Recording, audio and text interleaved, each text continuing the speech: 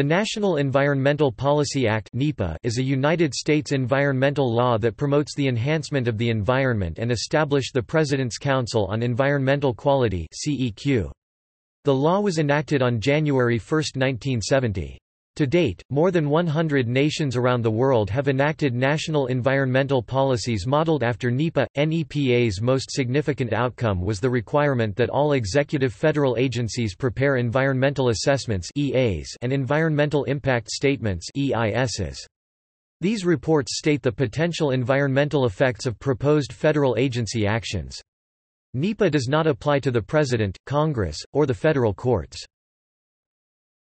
Topic history NEPA grew out of the increased public appreciation and concern for the environment that developed during the 1960s, amid increased industrialization, urban and suburban growth, and pollution across the United States.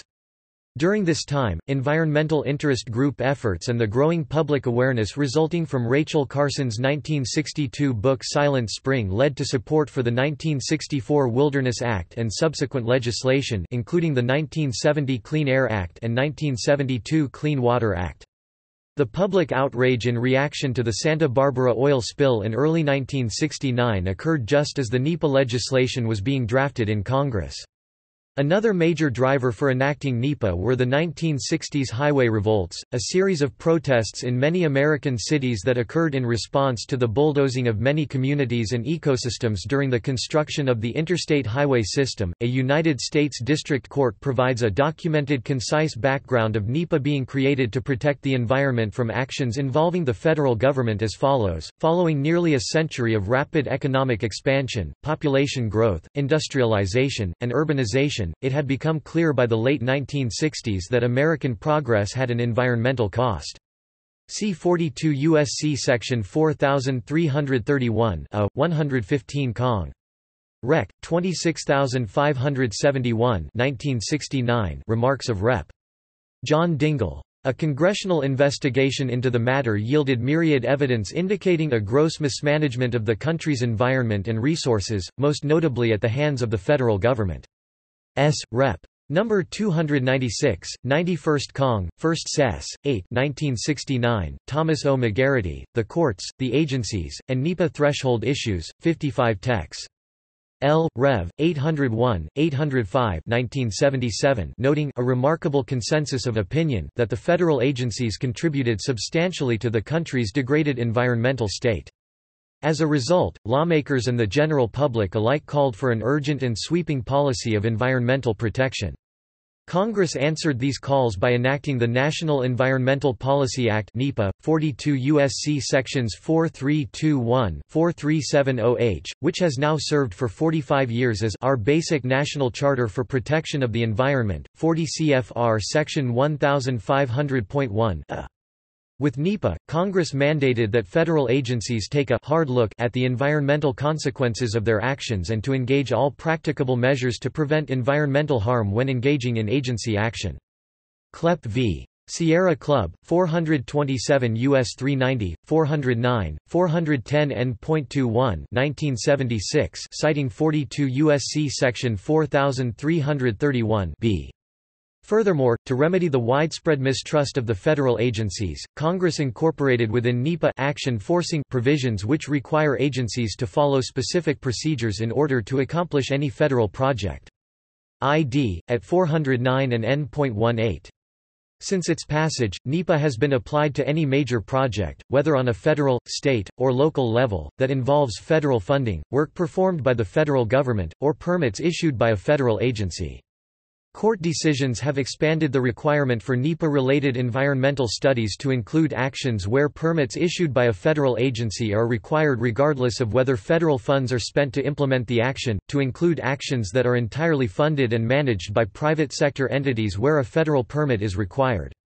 This legal interpretation is based on the rationale that obtaining a permit from a federal agency requires one or more federal employees or contractors in some instances to process and approve a permit application, inherently resulting in federal funds being expended to support the proposed action, even if no federal funds are directly allocated to finance the particular action.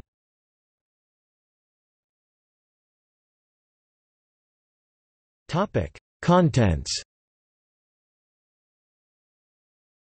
The preamble to NEPA reads, to declare national policy which will encourage productive and enjoyable harmony between man and his environment, to promote efforts which will prevent or eliminate damage to the environment and biosphere and stimulate the health and welfare of man, to enrich the understanding of the ecological systems and natural resources important to the nation, and to establish a council on environmental quality. NEPA contains three sections, the first section outlines national environmental policies and goals, the second establishes provisions for federal agencies to enforce such policies and goals, and the third establishes the CEQ in the Executive Office of the President. The purpose of NEPA is to ensure that environmental factors are weighted equally when compared to other factors in the decision-making process undertaken by federal agencies and to establish a national environmental policy. The Act also promotes the CEQ to advise the President in the preparation of an annual report on the progress of federal agencies in implementing NEPA. It also established the CEQ to advise the President on environmental policy and the state of the environment. NEPA establishes this national environmental policy by requiring federal agencies to prepare an environmental impact statement to accompany reports and recommendations for congressional funding. This impact statement is known as an EIS. NEPA is an action-forcing piece of legislation, meaning the act itself does not carry any criminal or civil sanctions, and therefore, all enforcement of NEPA must occur through the court system. In practice, a project is required to meet NEPA guidelines when a federal agency provides any portion of financing for the project. However, review of a project by a federal employee can be viewed as a federal action, and in such a case, it requires NEPA-compliant analysis performance. NEPA covers a vast array of federal agency actions, but the Act does not apply to state action where there is a complete absence of federal influence or funding. Exemptions and exclusions are also present within NEPA's guidelines, including specific federal projects detailed in legislation and EPA exemptions. Exemptions also apply when compliance with other environmental laws require an impact analysis similar to that mandated by NEPA. Such laws can include but are not limited to the Clean Air Act, Resource Conservation and Recovery Act, Safe Drinking Water Act, and the Federal Insecticide, Fungicide, and Rodenticide Act.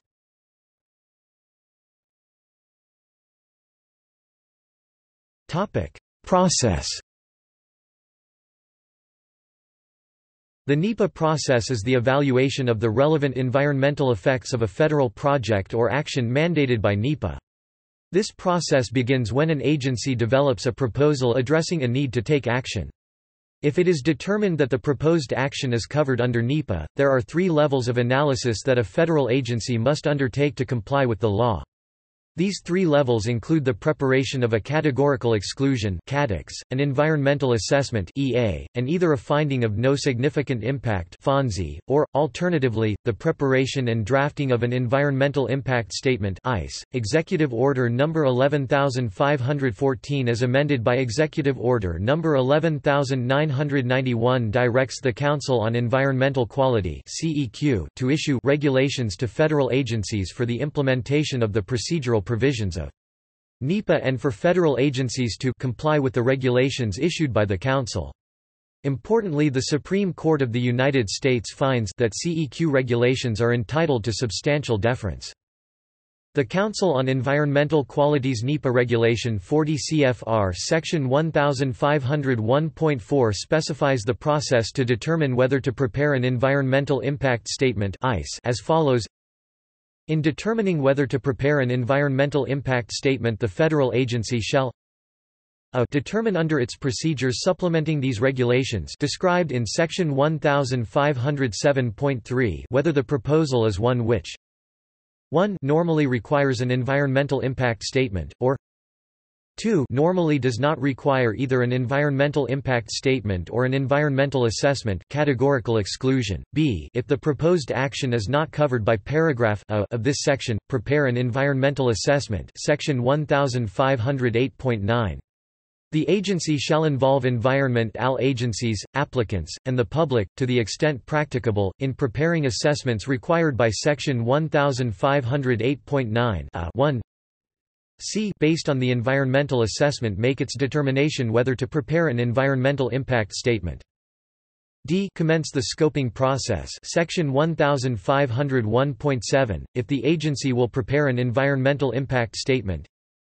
E prepare a finding of no significant impact. Section 1508.13, if the agency determines on the basis of the environmental assessment not to prepare a statement 1 The agency shall make the finding of no significant impact available to the affected public as specified in section 1506.6 2 in certain limited circumstances, which the agency may cover in its procedures under Section 1507.3, the agency shall make the finding of no significant impact available for public review including state and area-wide clearinghouses for 30 days before the agency makes its final determination whether to prepare an environmental impact statement and before the action may begin.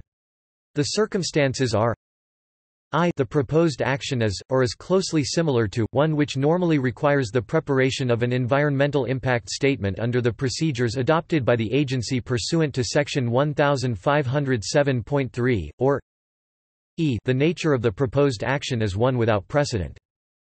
In addition to complying with the Council on Environmental Quality's NEPA regulations in 40 CFR Section 1500 through Section 1508, each federal agency is required by 40 CFR Section 1507.3 to adopt supplemental procedures for their agency's implementation of NEPA. For example, the Federal Highway Administration's supplemental NEPA procedures are in 23 CFR Section 771.101 through Section 771.131. According to 23 CFR Section 771.115 a Class 1 actions such as a new controlled access freeway or a highway project of four or more lanes on a new location significantly affect the environment and therefore require an environmental impact statement. According to 23 CFR Section 771.115 b and Section 771.117 c. Class II actions such as construction of bicycle and pedestrian lanes, planning, noise barriers, and landscaping normally do not individually or cumulatively have a significant environmental effect and therefore may be categorically exempt unless there are unusual circumstances as provided in 23 CFR Section 771.1 117 b. According to 23 CFR section 771.117 c, all other actions are class 3 actions requiring the preparation of an environmental assessment to determine the appropriate environmental document required.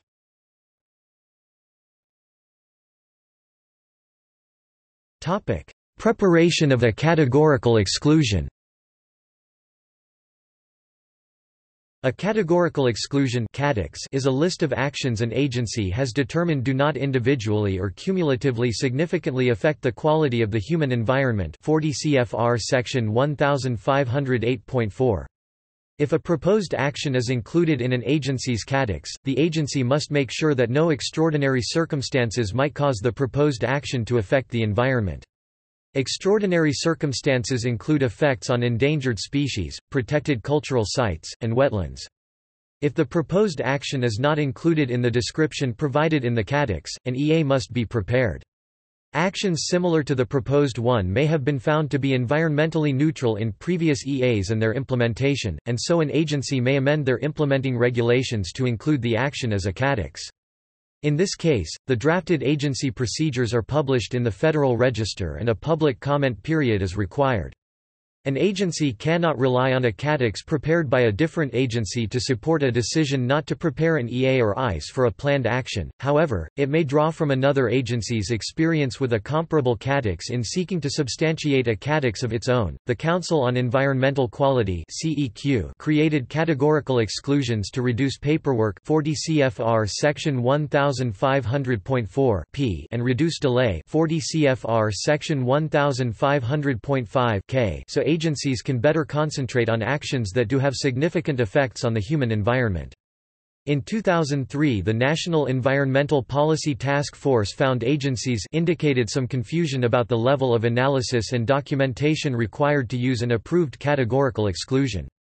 In 2010 CEQ issued guidance on the existing regulations for categorical exclusions consistent with NEPA and past CEQ guidance. This CEQ 2010 guidance acknowledges, since federal agencies began using categorical exclusions in the late 1970s, the number and scope of categorically excluded activities have expanded significantly. Today, categorical exclusions are the most frequently employed method of complying with NEPA, underscoring the need for this guidance on the promulgation and use of categorical exclusions. This CEQ 2010 guidance goes on to caution, if used inappropriately, categorical exclusions can thwart NEPA's environmental stewardship goals, by compromising the quality and transparency of agency environmental review and decision-making, as well as compromising the opportunity for meaningful public participation and review. Indeed, the expanded use of categorical exclusions undermines NEPA by reducing environmental analysis and public comment, thereby increasing NEPA litigation. The CEQ 2010 guidance emphasizes that categorical exclusions must capture the entire proposed action and not be used for a segment or an interdependent part of a larger proposed action. Examples of exceptional circumstances that prevent use of categorical exclusions include where there are potential effects on protected species or habitat, or on historic properties listed or eligible for listing in the National Register of Historic Places.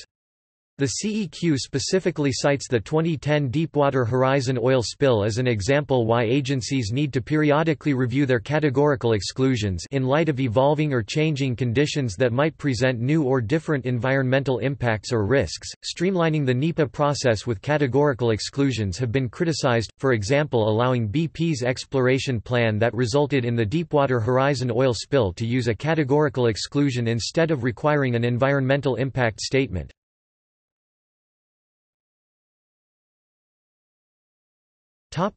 Preparation of an environmental assessment and a finding of no significant impact EAs are concise public documents that include the need for a proposal, a list of alternatives, and a list of agencies and persons consulted in the proposal's drafting. The purpose of an EA is to determine the significance of the proposal's environmental outcomes and to look at alternatives of achieving the agency's objectives.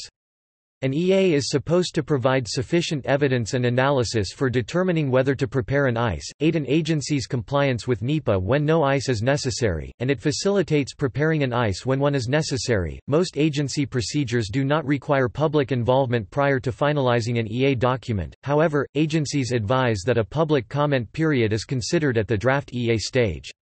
EAs need to be of sufficient length to ensure that the underlying decision to prepare an EIS is legitimate, but they should not attempt to substitute an EIS.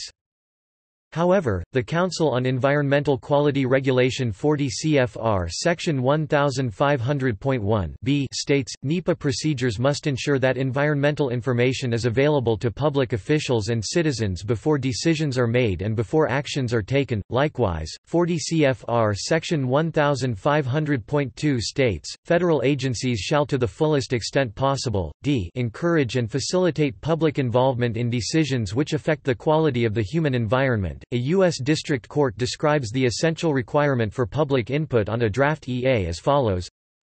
The Ninth Circuit has read these regulations to mean that, "...the public must be given an opportunity to comment on draft EAs and EISs." Anderson v. Evans, 371 F3D 475, 487 9th Circle 2004. Because the regulations must mean something. The circuit has held that an agency's failure to obtain any public input on a draft EA violates these regulations. Citizens for Better Forestry v.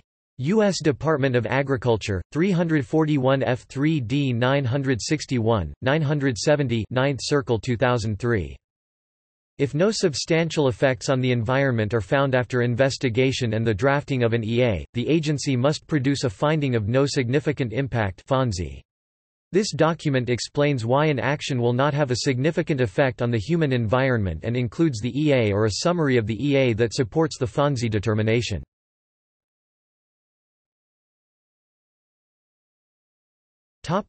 Preparation of an environmental impact statement If it is determined that a proposed federal action does not fall within a designated CATEX or does not qualify for a FONSI, then the responsible agency must prepare an EIS. The purpose of an EIS is to help public officials make informed decisions based on the relevant environmental consequences and the alternatives available. The drafting of an EIS includes public party, outside party, and other federal agency input concerning its preparation. These groups subsequently comment on the draft EIS. An EIS is required to describe the environmental impacts of the proposed action, any adverse environmental impacts that cannot be avoided should the proposal be implemented, the reasonable alternatives to the proposed action, the relationship between local short-term uses of man's environment along with the maintenance and enhancement of long-term productivity, and any irreversible and irretrievable commitments of resources that would be involved in the proposed action. An agency may undertake the drafting of an EIS without the initial drafting of the EA. This may happen if the agency believes that the action will have a significant impact on the human or natural environment or if the action is considered an environmentally controversial issue. The responsible decision maker is required to review the final EIS before reaching a final decision regarding the course of action to be taken. The decision maker must weigh the potential environmental impacts along with other pertinent considerations in reaching the final decision. A Record of Decision is issued which records the agency's final decision.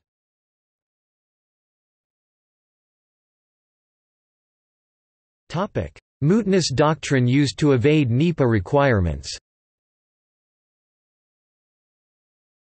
The Administrative Procedure Act at 5 U.S.C. Section 702 provides the right for a person injured by a NEPA issue to carry out a NEPA case in court as a person suffering legal wrong because of agency action, or adversely affected or aggrieved by agency action within the meaning of a relevant statute, is entitled to judicial review thereof. By 5 U.S.C. Section 706 the U.S. Congress provides for courts to make equitable remedies such as an injunction to compel agency action withheld or to set aside agency actions that are arbitrary, capricious, an abuse of discretion, or otherwise not in accordance with law. However, a court case becomes moot when no practical live issues remain as stated in Powell v. McCormack, 395 U.S. 486 1969 pages 496–497 Simply stated, a case is moot when the issues presented are no longer «live» or the parties lack a legally cognizable interest in the outcome. C. E. Borchard, Declaratory 497 497 Judgments 35–37 2d ed. 1941. Where one of the several issues presented becomes moot, the remaining live issues supply the constitutional requirement of a case or controversy. See United Public Workers v. Mitchell, 330 U.S. 75, 86–94 1947, 6 A. J. Moore, Federal Practice 57.13 2d ed., 1966. In early NEPA cases for example Arlington Coalition on Transportation v. Volpe 458 F2D 1323 4th Circle 1972 page 1331 courts considered projects were beyond the reach of the courts moot if that project had progressed to where the costs of altering the project would outweigh benefits. Nevertheless, by 1981 the Ninth Circuit Court of Appeals recognized some projects might proceed with construction in an attempt to evade the requirements of NEPA. Therefore, the court cautioned that even completed projects could be ordered to be removed as stated in Columbia Basin Land Protection Association, v. Schlesinger, 643 F2D 585 9th Circle 1981 page 591 Note 1 The building of the towers has not made the case hypothetical or abstract. The towers still cross the fields of the landowners, continually obstructing their irrigation systems, and this court has the power to decide if they may stay or if they may have to be removed. Asterisk asterisk asterisk if the fact that the towers are built and operating were enough to make the case non-justiciable, as the dissent states, then the BPA and all similar entities could merely ignore the requirements of NEPA, build its structures before a case gets to court, and then hide behind the mootness doctrine. Such a result is not acceptable.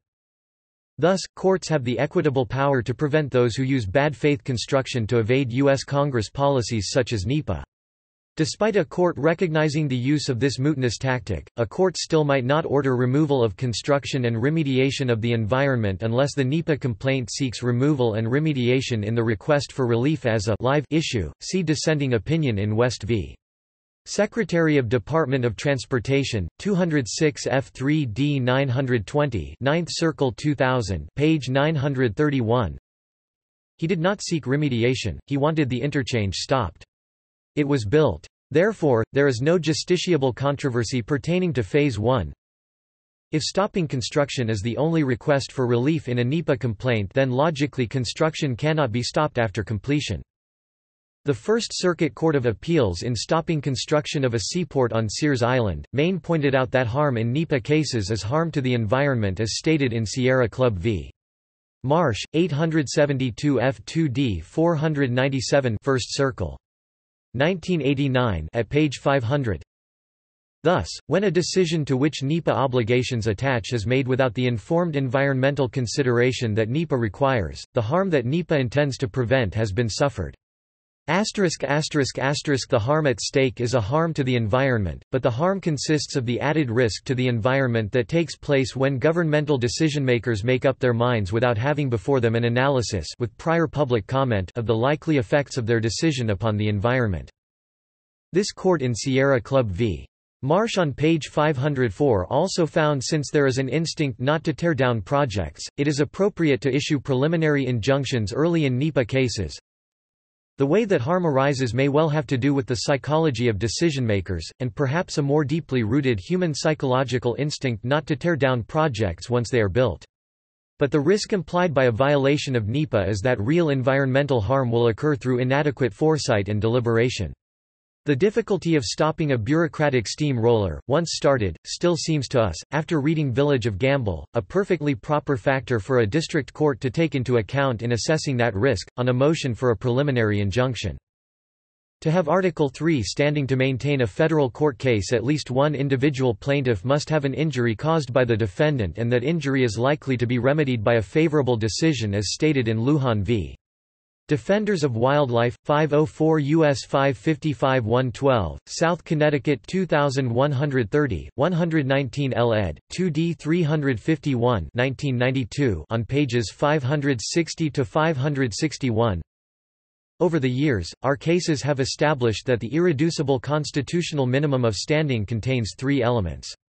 First, the plaintiff must have suffered an injury in fact an invasion of a legally protected interest which is a concrete and particularized, see id. at 756, Warth v.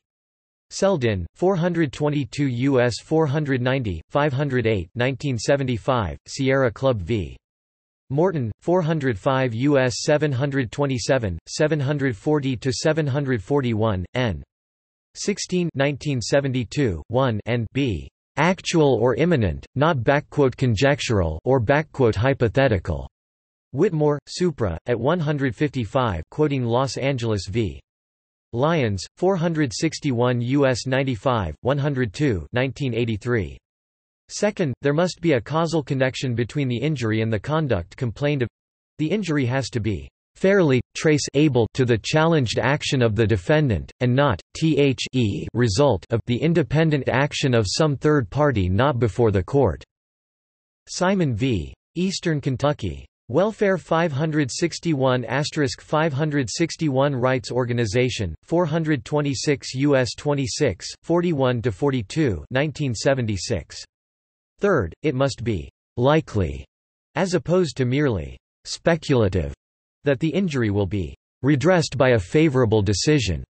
ID, at 38, 43.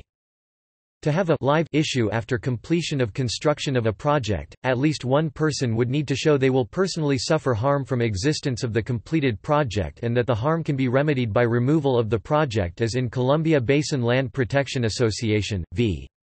Schlesinger. Individual injuries in NEPA cases may likely involve growth-inducing impacts such as air, noise, and water pollution, safety considerations, secondary impacts, and cumulative impacts, for example see Coalition for Canyon Preservation v.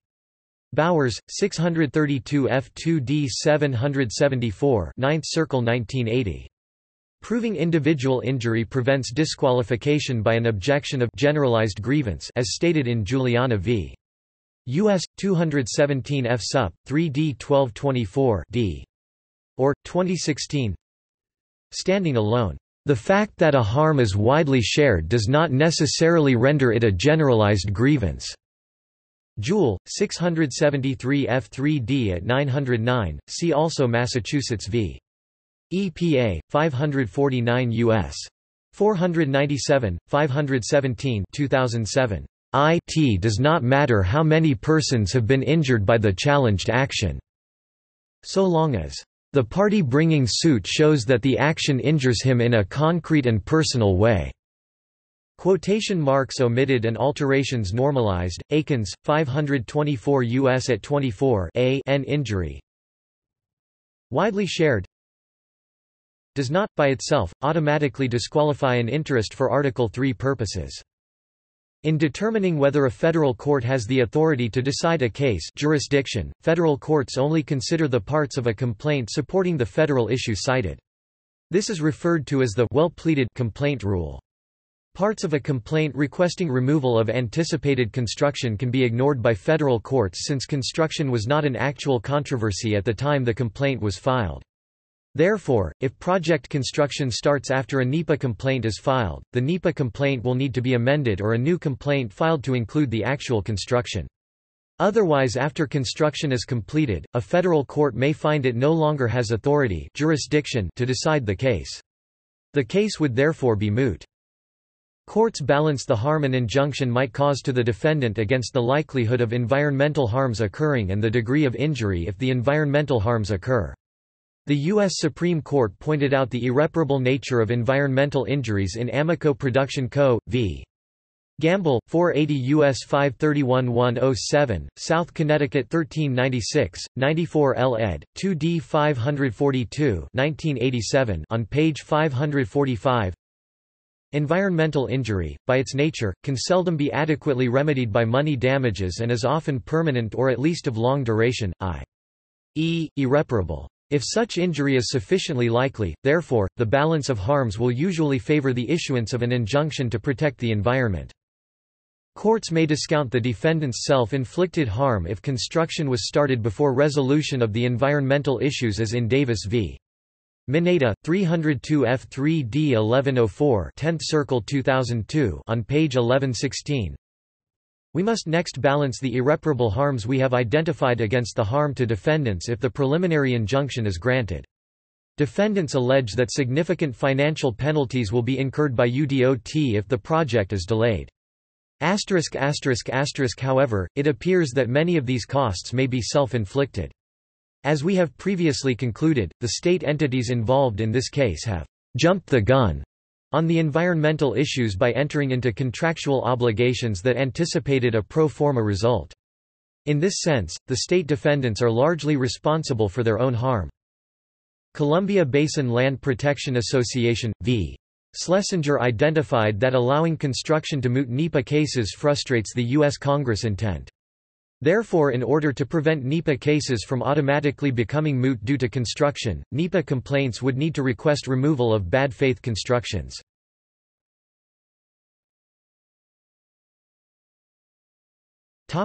Council on Environmental Quality The Council on Environmental Quality was modeled after the Council of Economic Advisers, a group of advisers to the President, created by the Employment Act of 1946. Shortly after NEPA was signed into law, President Richard Nixon expanded the CEQ's mandate by executive order. He directed the CEQ to issue guidelines for the proper preparation of an EIS and to assemble and coordinate federal programs related to environmental quality. The Council was placed within the Executive Office of the President of the United States and is composed of three President-appointed members, which are subsequently confirmed by the Senate. The CEQ has played a key part in the development of the EIS process. Its initial guidelines were issued in 1971, and required each federal department and agency to adopt its own guidelines consistent those established by CEQ. These guidelines did not carry the status of formal agency regulations, but were often held in the court of law as such.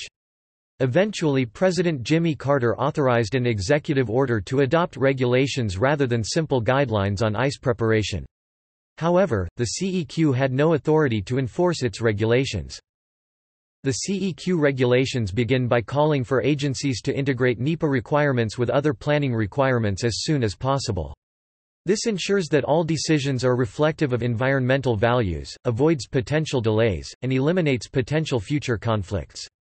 NEPA's action forcing provision, section 102 c, stipulates that all federal agencies shall include in every recommendation or report on proposals for legislation and other major federal actions significantly affecting the quality of the human environment, a detailed statement by the responsible official on the environmental impact of the proposed action. With specification of the details required for the EIS, the CEQ has taken measures within the past several years to prepare advisory documentation explaining the general structure of NEPA and the nature of cumulative impacts, among other advisories. The CEQ maintains a Citizen's Guide to NEPA website.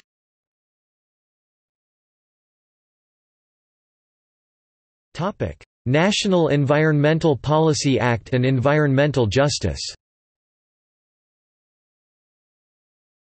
The National Environmental Policy Act promotes environmental justice by requiring federal agencies to include minority and low-income populations in their NEPA-mandated environmental analyses. Executive Order No. 12898 requires federal agencies that are complying with NEPA to consider environmental effects on human health, and economic and social effects, specifically within minority and low-income populations, which are disproportionately impacted by environmental detriment. Proposed federal actions must address significant and adverse environmental effects on minority and low-income populations.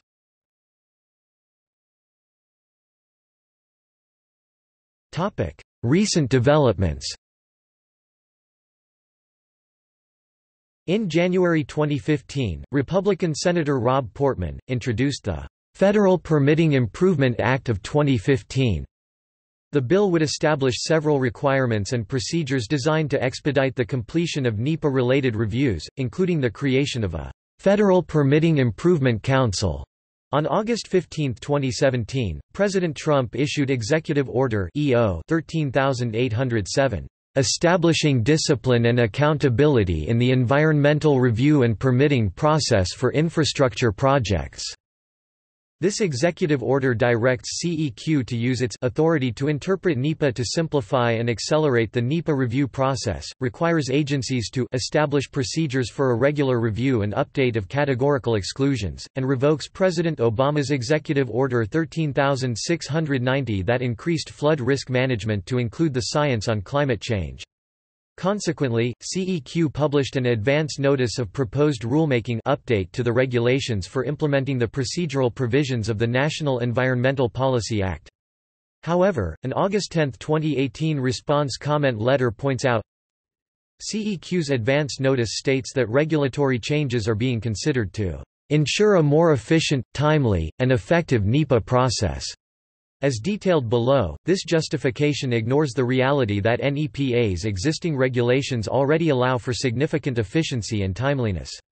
For example, existing NEPA regulations direct federal agencies to reduce paperwork. 1 40 CFR Section 1500.4 reduce delay. 2 40 CFR Section 1500.5 provide for tailored time limits. 3 40 CFR Section 1501.8 provide for scoping that identifies the issues requiring detailed analysis early in the process. 4 40 CFR Section 1501.7 integrate and prepare NEPA reviews concurrently with other required reviews. 540 CFR Section 1502.25 and eliminate duplication with state and local procedures. Point 6 40 CFR Section 1506.2 CEQ should focus its efforts on better enforcement of existing regulations, improving training for agency staff and NEPA practitioners who are unaware of available tools, and expediting procedures in existing NEPA regulations.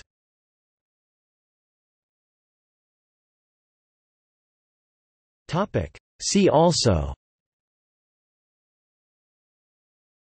Climate justice Environmental impact assessment Environmental impact report Environmental policy of the United States